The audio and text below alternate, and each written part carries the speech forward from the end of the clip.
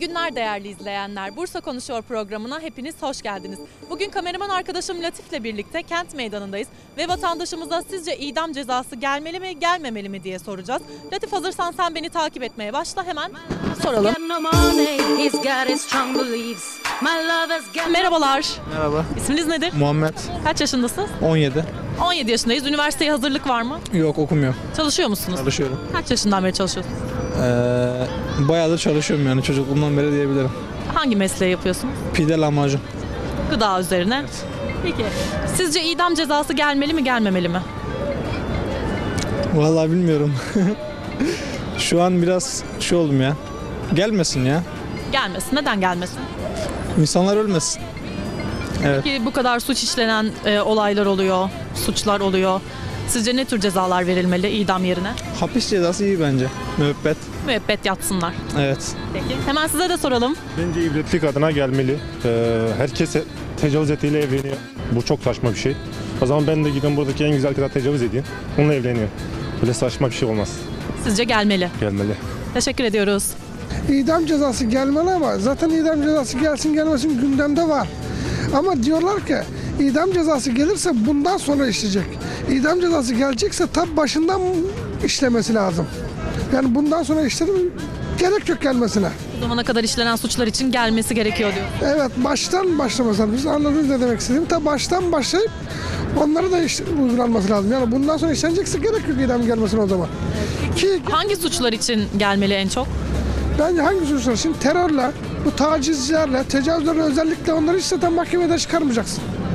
Bu kadınlara uygulanan, uygulanan şiddetten dolayı onları direkt idama götüreceksin. Yani öyle gördük yani 9 yaşındaki çocuk dün mahkemesindeydik adliyede. 9 yaşındaki çocuğu taciz ediyor, tecavüz ediyor aylarca ama serbest bırakılıyor. İşte Manisa'da hamile kadını spor yapıyor diye dövüyor ve mahkemece serbest bırakılıyor. Bunlar için gelmesi lazım idam cezası. İdam cezası gelmeli artık genişletilmeli yani bence. Geriye dönük olmalı. Hangi suçlar için gelmeli? Terör suçları için tabii canım. Sadece yani Türkiye'de 15 Temmuz'da hiç insan canı yanmadı. Geriye dönük insanların da canı yandı. Evet. Onların şey olursa canı yanınca onların da bence yani geri dönük düşünülmüyor. Bence düşünülmeli yani. Ben, benim fikrim tabii canım. Öyle bir karar çıksa onaylıyorsunuz. Tabii canım niye yani, yani sonuçta. İdam cezası sizce gelmeli mi? Ha idam cezası. İdam cezası yani gelmeli tabii bazı kesimlerde işte görüyoruz 15 Temmuz öyle. Onlara gelmeli bence. Hangi suçlar için?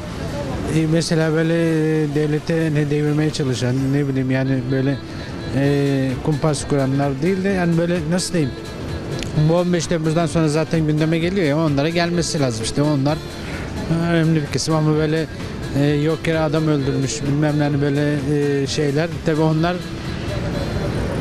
idam cezası onlar yargısız infaz gibi bir şey olur ama böyle besbelli alenen e, devleti devirmeye çalışan yani böyle şey yapanlara gelmesi lazım gibi. Tabii ki gelmeli. Ee, genç yaşta ne bileyim çoğu kızlar hep ziyan oluyor yani. Bunun da sebebini artık nasıl olacağını bilemiyorum da devletin buna bir çözüm bulması lazım. Tabii ki istiyoruz. İdam gelsin ki her şey daha Caydırıcı olacağını düşünüyor musunuz? Tabii ki düşünüyorum. Çok farklı olması lazım. Çoğu ülkelerde e, bakıyoruz var ama bizim Türkiye'de nedense yok. Ama olsun ki bazılarına da örnek olalım yani her Türkiye olarak. Teşekkürler. Hemen gelelim. Merhabalar. Merhaba efendim. Nasılsınız? Teşekkür ederim. Allah razı olsun. Geziyor musunuz? Geziyoruz. Peki. Havalar son güzel havalar. Kar da başladı bugün biraz. Soğuktu bu iki gündür kar yağıyor. Evet. Evet. İdam cezası sizce gelmeli mi? Yok duymadım öyle televizyonda. Gelmemeli mi diyorsun? Gelmesin. Böyle bir şey yazık olur insanlara. Evet, ceza versinler, başka idam gelmesin.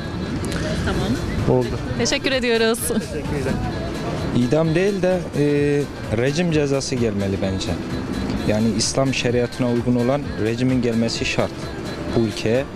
Bu ülke demokrasiyle yönetilen bir ülke. Bunun için biraz zor ama şeriatın gelmesi lazım. Ben öyle düşünüyorum. İdam değil şeriat gelsin diyorsun. Evet tabii ki İslam eğer Müslüman bir ülkeysek ki değiliz e, şeriatın gelmesi lazım. Şeriat geldiği zaman da bütün sorunlar çözülür. Müslüman olmadığımızı mı düşünüyorsun? E, demokrasiyle yönetilen bir ülke Müslüman olamaz. Teşekkürler. My lover's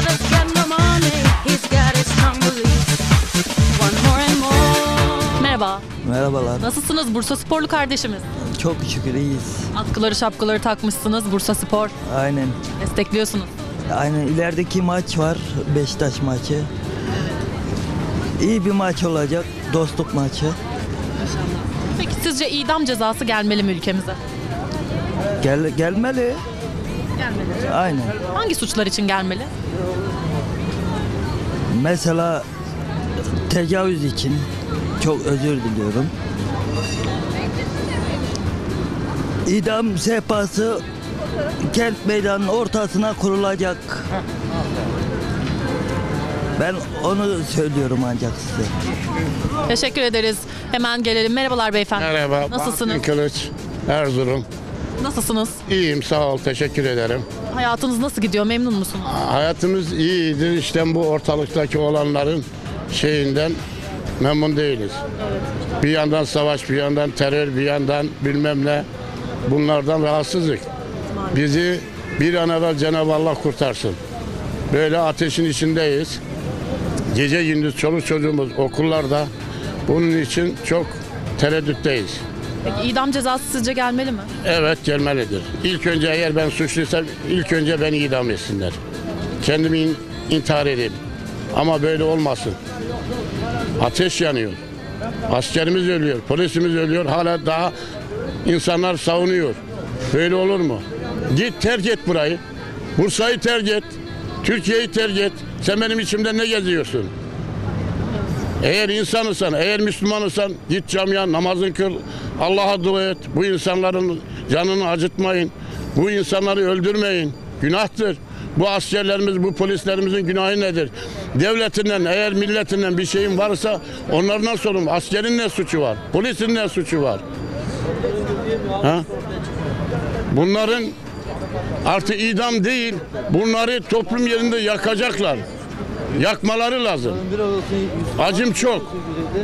Onun için Türkiye Cumhuriyeti'nde bu işler olmayacak. Atatürk bu milleti nasıl kurtardı? Bu devleti nasıl kurtardı? Öyle bu milleti yine bunları kurtaracağız. İnşallah el ele vereceğiz. Teşekkür ederiz. Sağ ol. Bence gelmesi lazım ama hani e, her bir çözüm olarak değil. Sadece ülkeyi bozanlar için ve bizim kendi ülkemize hakaret yani yanlış yapanlar için. Biz burada bir şey dediğimiz zaman yabancı ülkenin hemen direkt buraya ceza olarak gösteriyor. Ama kendi ülkelerinde olduğu zaman hiçbir şey görüntü yapmıyorlar. Sadece aynanın yansımasıyla el altından gülüyorlar bize. Başka bir şey değil. Sadece biz istiyoruz ki biz burada kardeş gibi yaşamak, Kürt Türk ayrımı olmamasın. Şurada bizim kendi giyimimize bize, kendi keşlimize yürürken bile biz kendimizden utanıyoruz. Yani bir arkadaşımın yanına gidip de utanıyorsun. Doğuluyum diyemiyorsun. Ama insanlar sadece Kürt Türk ayrım yapmaya çalışıyor. Şu an Kürt Türk de artık birbirinin olduğunu anlıyor. Biz sadece diyoruz ki kardeş gibi yaşamak istiyoruz. O kadar bizde kinleri varsa, o kadar şeyleri varsa bir kere de yabancı ülkelerde yapsınlar görelim. Hani bir kere de orada bir patlama yapsın. Niye Brüksel'de patlama oldu? En fazla bir hafta geçti. Tekrar adamları sanki cephanelik gibi el altından cephanelik kendileri veriyorlar. Biz burada kendi insanımız bir tane düştüğü zaman düşene tekme vurmuyoruz. Biz yine elinden tutuyoruz kaldırıyoruz. Ama orada öyle yok. Burada sadece bizi sadece hep kötü göstermek, Türk üstünde yanlış göstermek. Başka bir şey değil. Gelmeli. Neden? Hak edenin hakkını vermek zorundalar. Neden? Gerçekten abinin dediği gibi çok doğru konuştun. Türk, Kürt, Çerkez, Manav bunların hepsi kardeş. Niçin ayrımcılık yap- yapıyorlar ki? Ne gerek var yani? Hırsızlık yapanın kolu kesilsin diyorsun.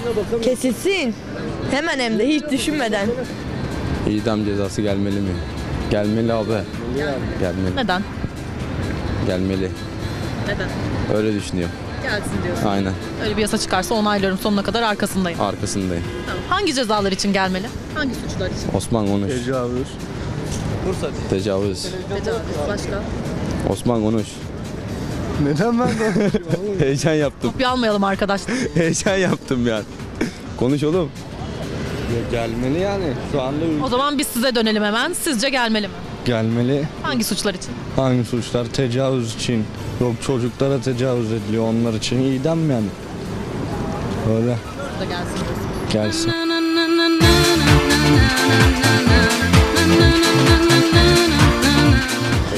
İsminiz nedir? Hasan Tosun, Hasan Bey kaç yaşındasınız? 53. Çalışıyor muyuz? Çalışıyorum. Peki. Sizce idam cezası gelmeli mi? İdam cezası kesinlikle gelmeli. Neden? Ama tabii kısmı suçlara gelmeli. Bazı suçlar için. Terör, tecavüz. Yani bu gibi suçlara kesinlikle gelmeli.